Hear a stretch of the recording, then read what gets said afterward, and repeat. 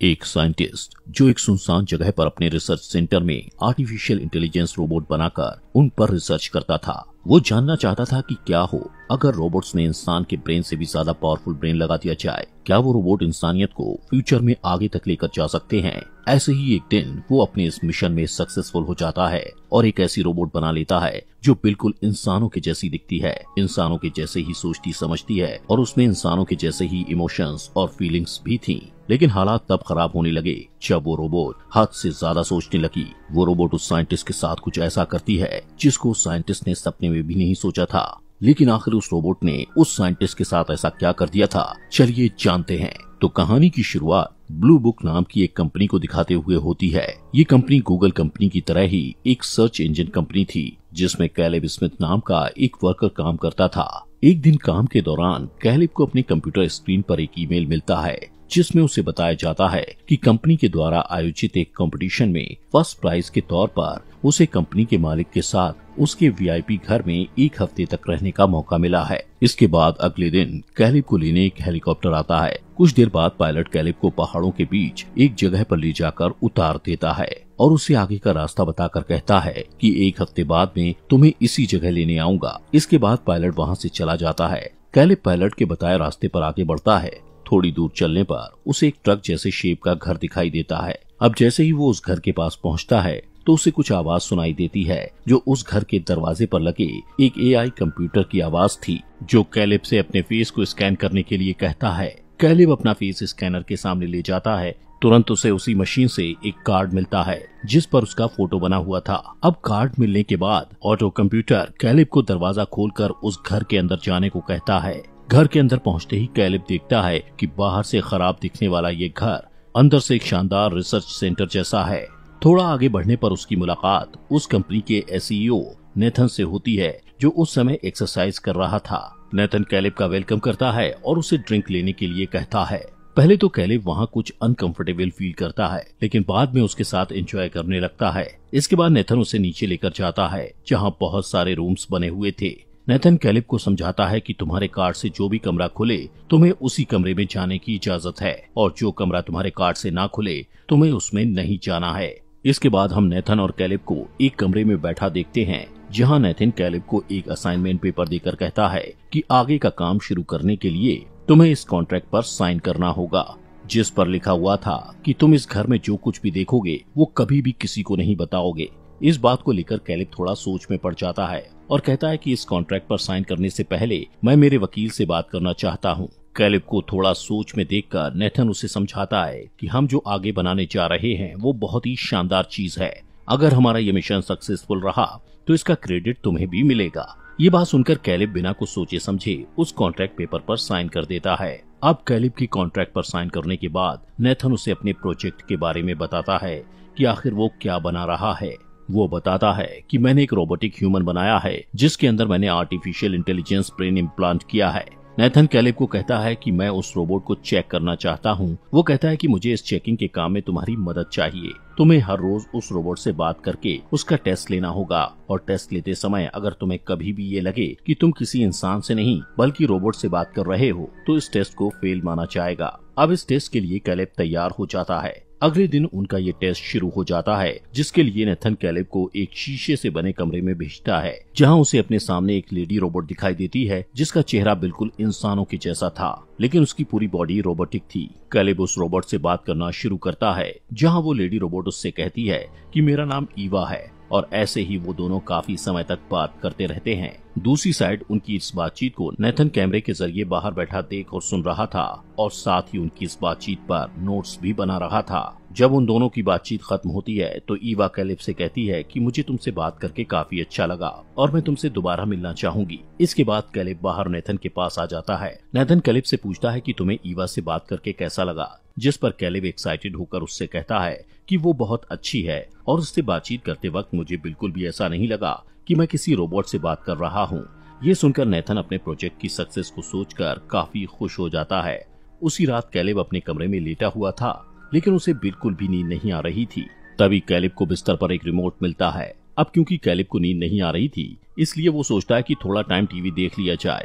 जब वो टीवी का रिमोट समझकर उस रिमोट का ऑन बटन दबाता है तो स्क्रीन पर ईवा के कमरे की लाइव सीसीटीवी फुटेज चलने लगती है। ये देखकर कैलिब को कुछ भी समझ नहीं आता। तभी अचानक बिजली चली जाती है और घर के सभी दरवाजे बंद हो जाते हैं, जिससे कैलिब थोड़ा घबरा जाता है और दरवाज़ा खोलने की कोशिश करता है। लेकिन दरवाज़ा नहीं खुलता।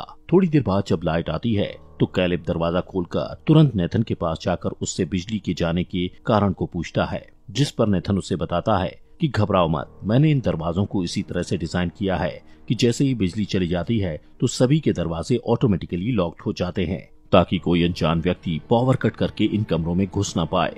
साथ ही नेथन उसे ये भी बताता है कि पिछले कई दिनों से घर की लाइट बार बार कट रही है, जबकि पहले कभी भी ऐसा नहीं हुआ। इसके बाद कैलिब अपने कमरे में जाकर सो जाता है। सुबह उसके कमरे में एक लड़की उसके लिए नाश्ता लेकर आती है। उसे देखकर कैलिब थोड़ा शॉक्ड हो जाता है और नेथन से जाकर उसके बारे में पूछता है। नेथन उसे कहता है कि उसका नाम केओको है और वो मेरी केयर टेकर है। फिर नेथन कैलिब से कहता है कि आज हम ये टेस्ट करेंगे कि ईवा तुम्हारे बारे में क्या सोचती है। कैलिब ईवा के पास उसका नेक्स्ट टेस्ट लेने जाता है, जहाँ ईवा कैलिब को कुछ ड्राइंग्स दिखाती है जो उसने रात में ड्रॉ की थी। लेकिन कैलिब उन ड्राइंग्स को समझ नहीं पाता। वो ईवा से कुछ ऐसा ऑब्जेक्ट बनाने को कहता है, जो वो बनाना चाहती है, जैसे कि कोई इंसान या कोई पेड़ या कुछ भी। इस पर ईवा कहती है कि वो अगले दिन उसे बनाकर दिखाएगी। ईवा कैलिब से पूछती है, क्या तुम तो मैरिड हो? जिस पर कैलिब उसे जवाब देते हुए अपने बारे में बताने लगता है कि मैं 26 साल का अनमैरिड लड़का हूँ। मेरी कोई गर्लफ्रेंड भी नहीं है और मेरे पेरेंट्स एक कार एक्सीडेंट में मारे जा चुके हैं। ये सुनकर ईवा इस बात पर दुख जताती है। वो दोनों इसी तरह बातें कर ही रहे थे कि अचानक पावर कट हो जाता है। पावर कट होते ही ईवा कैलिब को कहती है कि तुम्हें नथन पर भरोसा नहीं करना चाहिए क्योंकि वो अच्छा आदमी नहीं है।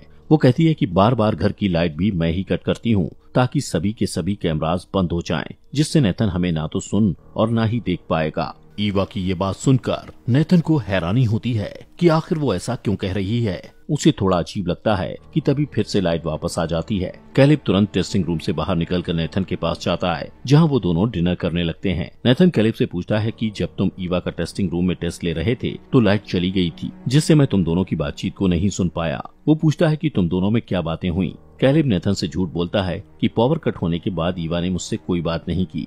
रात को कैले फिर से अपने कमरे में लगे स्क्रीन से सीसीटीवी फुटेज द्वारा ईवा को देखने लगता है, क्योंकि वो ईवा से अट्रैक्ट होने लगा था।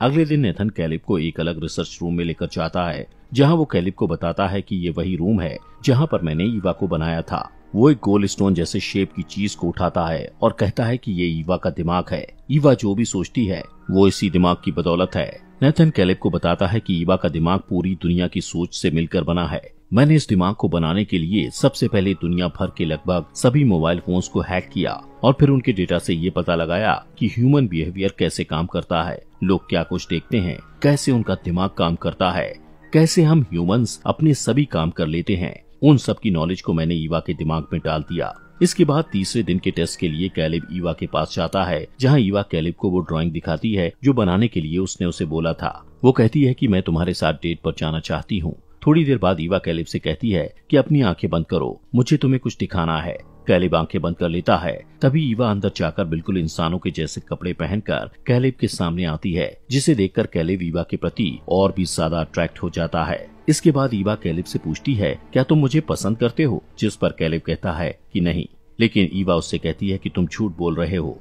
क्योंकि मैं तुम्हारे फेस एक्सप्रेशंस को रीड कर सकती हूँ। इसके बाद कैलिब नेथन के पास जाकर उसे बताता है कि ईवा लोगों के इमोशंस समझ सकती है और सच और झूठ को पकड़ सकती है। इसके साथ ही वो लोगों से फ्लर्ट भी कर सकती है। नेथन उसे कहता है कि मैंने तो सिर्फ़ ईवा को सोचने समझने के लिए ही बनाया था, लेकिन बाकी की चीज़ें वो धीरे धीरे खुद ब खुद सीख रही है। कैले पूछता है कि तुमने ईवा को लड़की ही क्यों बनाया? जिसके जवाब में नेथन बताता है कि वो इंटीमेट भी हो सकती है और इंटीमेट होते टाइम उसे भी प्लेजर फील होगा। वो कैलिब से कहता है कि तुम्हें उसको फंसाकर उसके साथ फ़िज़िकल होना पड़ेगा। ये सब बातें सुनकर कैलिब को समझ आ जाता है कि ईवा के अंदर ह्यूमंस जैसी सभी फीलिंग्स और इमोशंस होने के बाद भी नेथन ने उसे यहाँ पर कैद कर रखा है। अगले दिन कैलिब ईवा से मिलता है और उसे बताता है कि एक इंसान और एक रोबोट में क्या अंतर होता है। वो कहता है कि रोबोट सिर्फ़ उतनी ही नॉलेज से काम करता है जितनी उसमें इंस्टॉल की गई होती है, जबकि इंसान के सोचने की कोई सीमा नहीं है। इंसान अपनी सोच खुद बनाता है और इंसान रोबोट की तरह एक जगह पर कैद होकर नहीं रह सकते। कैलेब की ये बातें युवा के मन में घर कर गई थी और वो अब खुद को पूरी तरह से इंसान बनाना चाहती थी। इसके बाद रात में जब कैलेब सीसीटीवी फुटेज में देखता है कि नेथन युवा के पास जाकर गुस्से में उसकी बनाई हुई ड्राइंग्स को फाड़कर वहाँ से अपने रूम की तरफ़ आ रहा था। कैलेब नेथन से बात करने के लिए उसके रूम में जाता है, जहाँ पर वो केओको को देखता है और उससे पूछता है कि नेथन कहाँ है। केओको को लगता है कि कैलेब उसे उसके साथ इंटीमेट होने के लिए बोल रहा है, इसलिए वो अपने कपड़े उतारने लगती है। लेकिन कैलेब उसे ऐसा करने से रोकता है। तभी नेथन वहाँ आ जाता है और कैलेब से कहता है कि केओको को उसकी लैंग्वेज समझ नहीं आती और वो वही करती है जो उसका मन करता है। नेथन बहुत नशे में था, इसलिए वो केओको के साथ नाचने लगता है और कैलेब को भी उसके साथ नाचने के लिए कहता है, जिससे कैलेब वापस अपने कमरे में चला जाता है। अगले दिन जब कैलेब ईवा का टेस्ट लेने जाता है तो ईवा पावर कट करके उससे बोलती है कि मुझे पता है, तुम्हें यहाँ पर मुझे टेस्ट करने के लिए बुलाया गया है। लेकिन अगर मैं नेथन के इस टेस्ट में फेल हो गई तो वो मेरे साथ क्या करेगा? तभी ईवा कैलेब से कहती है कि जिस तरह तुम मुझे प्यार करने लग गए हो, उसी तरह मुझे भी तुमसे प्यार हो गया है, और मैं ज़िंदगी भर तुम्हारे साथ रहना चाहती हूँ। लेकिन पूरी तरह इंसान बनने के बाद, इस टेस्ट के बाद कैलेब नेथन के पास जाता है और उससे पूछता है कि अगर ईवा इन टेस्ट में फेल हो जाती है तो तुम उसके साथ क्या करोगे? इसके जवाब में नेथन कैलेब से कहता है कि अगर ऐसा हुआ तो मैं ईवा के सभी बॉडी पार्ट्स को संभाल कर रख दूँगा और उसके ब्रेन की पूरी मेमोरी को इरेज करके उसके अस्तित्व को ही मिटा दूँगा। फिर एक नया, इससे भी ज़्यादा एडवांस ब्रेन बनाऊँगा, जिसमें मैं उन सभी बातों का ध्यान रखूँगा, जो ईवा के ब्रेन में नहीं थी। ये सुनकर कैलेब को मन ही मन नेथन पर बहुत गुस्सा आता है, क्योंकि वो ईवा से प्यार करने लगा था और उसे खत्म होते नहीं देख सकता था। इसलिए कैलेब नेथन को रूम में ले जाकर बातों ही बातों में काफ़ी ज़्यादा ड्रिंक पिला देता है। जिससे नेथन की आँख लग जाती है और कैलेब नेथन की जेब से उसके रूम का कार्ड लेकर उसके प्राइवेट रूम में जाकर उसके कंप्यूटर पर उसके कुछ वीडियोस देखने लगता है, जिससे उसे पता चलता है कि नेथन ने ईवा से पहले भी कई सारे एआई रोबोट्स को बनाया था, जिसमें ईवा की तरह ही सोचने और समझने की क्षमता थी। लेकिन थोड़ी बहुत कमियों की वजह से नेथन ने उनके ब्रेन से उनकी सारी मेमोरीज को इरेज करके उन्हें मार दिया। वो सारे एआई रोबोट्स भी ईवा की तरह ही उसकी कैद से आज़ाद होकर बाहर खुलकर अपनी ज़िंदगी जीना चाहते थे। दोस्तों, आगे बढ़ने से पहले आपका दिल से शुक्रिया। आपके अपने फॉक्स एक्सप्लेनर हिंदी चैनल को सब्सक्राइब करने के लिए। अब इसके बाद कैलेब नेथन के दूसरे कमरे में जाता है, जहाँ केओ को बिना कपड़ों के बैठी हुई थी। कैलेब वहाँ पर लगे कपबोर्ड को खोलने लगता है और देखता है कि उन कपबोर्ड्स में उन्हीं रोबोट्स की बॉडी पड़ी है जिनको नेथन ने शट डाउन करके वहाँ रखा हुआ था। ये देखकर वो काफ़ी डिस्टर्ब हो जाता है। तभी केओ को अपनी बॉडी से चमड़ी उतारने लगती है, जिससे उसे पता चलता है कि केओ को भी कोई इंसान नहीं, बल्कि एआई रोबोट है। उसमें भी इंसानों की तरह समझ और फीलिंग्स थी, लेकिन फिर भी नेथन उसे गुलामों की तरह रखता था। वहीं उधर नेथन की आँख खुलती है और वो नशे की हालत में ही अपने प्राइवेट रूम में जाने के लिए अपने कार्ड को ढूँढने लगता है, जिससे कैलेब रूम से बाहर आकर उसका कार्ड नीचे गिरा देता है और उसे कहता है कि तुम्हारा कार्ड यहाँ नीचे गिरा पड़ा है। इसके बाद कैलेब अपने रूम में जाकर लेट जाता है, लेकिन अब उसे खुद पर भी शक होता है कि कहीं वो भी तो रोबोट नहीं है, जिसके लिए वो खुद की बॉडी चेक करने लगता है और यहाँ तक कि अपने हाथ पर भी कट लगाता है, जिससे उसके हाथ से ब्लड निकलने लगता है। अगले दिन कैलेब ईवा के पास जाता है, जहाँ थोड़ी नॉर्मल बात करने के बाद ईवा पावर कट कर देती है। तब कैलिब उसे बताता है कि अगर तुम टेस्ट में फेल हुई तो नेथन तुम्हारे ब्रेन से तुम्हारी सारी सोच और मेमोरीज को मिटा देगा, जिससे तुम मर जाओगी, और फिर वो तुम्हारी बॉडी को संभाल कर कपबोर्ड में रख देगा। ये सुनने के बाद ईवा कहती है कि क्या तुम मुझे बचा सकते हो? जिस पर कैलिब कहता है कि हाँ मैं तुम्हें बचाऊँगा, और ईवा को अपने प्लान के बारे में बताता है। कि मैं नेथन को ज़्यादा ड्रिंक पिलाकर सुला दूँगा और उसके कार्ड को लेकर उसके पीसी से इस बिल्डिंग के सारे सिक्योरिटी सिस्टम को रिवर्स कर दूँगा। और फिर जैसे ही तुम पावर कट करोगी तो बिल्डिंग के सभी दरवाजे खुल जाएँगे और हम यहाँ से भाग जाएँगे। अगले दिन कैलेब नेथन को बातों ही बातों में ड्रिंक करवाने की कोशिश करता है, लेकिन नेथन ड्रिंक करने से मना कर देता है। वो कहता है कि मैं कई दिनों से काफ़ी ड्रिंक करने लगा हूँ तो अब मैंने पीनी छोड़ दी है। वो कहता है, तुमने अच्छा काम किया है और आज तुम्हें हेलीकॉप्टर लेने आएगा। तभी नेतन उससे कहता है कि क्या तुम्हें सच में लगता है कि ईवा तुमसे प्यार करती है, या फिर वो वहाँ से निकलने के लिए तुम्हारा इस्तेमाल कर रही है? ये सुनकर कैलिब को समझ आ जाता है कि नेथन को पता चल चुका है कि मैं ईवा को यहाँ से आज़ाद करना चाहता हूँ। इसके बाद नेथन कैलिब को अपने रूम में ले जाकर उन दोनों की वीडियोस दिखाता है, जिसमें कैलिब ईवा को यहाँ से भागने का प्लान बता रहा था।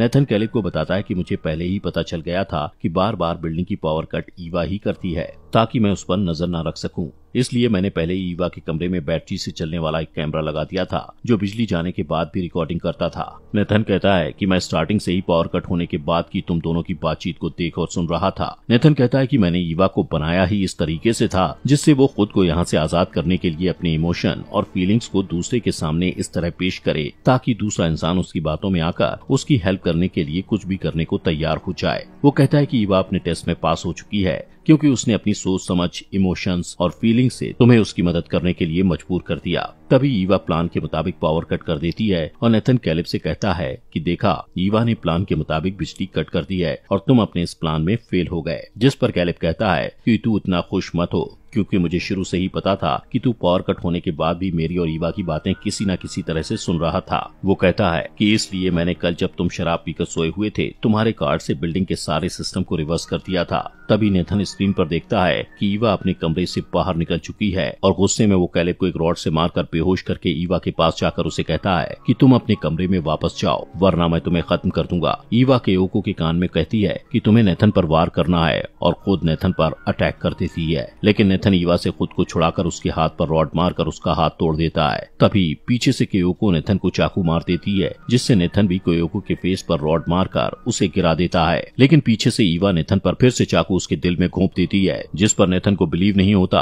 कि उसने जिस रोबोट को बनाया, उसी ने उसको मार दिया। ईवा नेथन की जेब से उसका कार्ड लेकर वहाँ से उसके कमरे में जाती है, जहाँ कैलेब को अब होश आ चुका था। ईवा उससे कहती है कि तुम यहीं रहो, और वहाँ से उस रूम में जाती है, जहाँ पर कपबोर्ड पड़े थे। ईवा उन्हीं कपबोर्ड में से एक रोबोट की चमड़ी को खुद की चमड़ी से रिप्लेस कर लेती है। इसके बाद वो लड़की के कपड़े पहनकर वहाँ से जाने लगती है। वहीं कैले ईवा से कहता है कि तुम मुझे यहाँ पर छोड़कर नहीं जा सकती। लेकिन ईवा उसका दरवाज़ा परमानेंट लॉक करके वहाँ से चली जाती है। ईवा जब उस बिल्डिंग से बाहर निकलती है तो बाहरी दुनिया को देखकर काफ़ी खुश होती है, और सूरज की गर्मी को महसूस करती है। तभी कैलिब को लेने हेलीकॉप्टर वहाँ पर आ जाता है और ईवा उस पायलट को अपनी बातों में पहला फुसलाकर वहाँ से हेलीकॉप्टर में निकल जाती है। वहीं कैलिब उस बिल्डिंग में कैद होकर रह जाता है। कुछ टाइम बाद ईवा शहर में पहुँच जाती है और इसी सस्पेंस के साथ ये मूवी यहीं पर खत्म हो जाती है। दोस्तों, हमारे फॉक्स एक्सप्लेनर हिंदी चैनल को सब्सक्राइब करना मत भूलना।